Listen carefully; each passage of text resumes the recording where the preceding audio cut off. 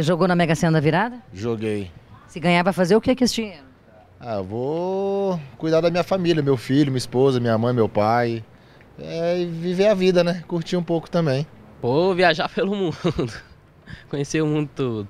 Além de alimentar os sonhos de milhares de apostadores, as loterias Caixa são uma fonte de recursos importante para financiar ações sociais. Dos 12 bilhões de reais arrecadados com jogos de janeiro a novembro, quase 6 bilhões foram repassados para a Seguridade Social, Educação, Esporte, Segurança Pública, Cultura e Saúde. Cerca de 48% são destinados a programas sociais juntamente com o imposto de renda. E o FIES, que recebe um bom montante desse valor, e também para o Ministério dos Esportes, nós também repa fazemos repasses. Sorte tem quem acredita nela.